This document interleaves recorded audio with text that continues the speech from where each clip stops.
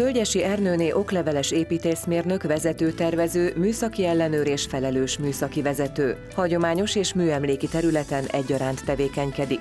Előbb az IKV-nál, majd a Renoterv Kft-ben végzett jelentős tervezői munkát. Szombathely belvárosában számos patinás épület megóvása, rekonstrukciója kötődik a nevéhez, megőrizve így a város jellegzetes, hagyományos arculatát. A Belsikátor, a Művészetek Háza, a főtér védett és műemléki létesítményei mai formájának kialakulásához mind nagyban hozzájárult. A vasútállomás funkcionális és beltéri megújítása mellett az ő szakértelmének köszönhető az épület eredeti homlokzatának visszaállítása.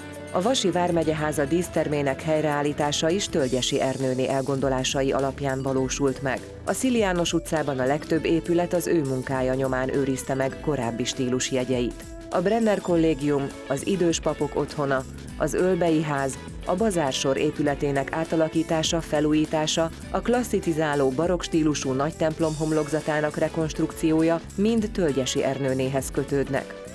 Szombathelyen kívüli jelentős munkái még a Körmendi kastélyban található színház és látogatóközpont, a keleti és nyugati őrépületek és a gyermekkönyvtár felújítási tervei, az épülő Körmendi mozi és közösségi ház, a Celdömölki általános iskola és szakközépiskola felújítási és bővítési tervei.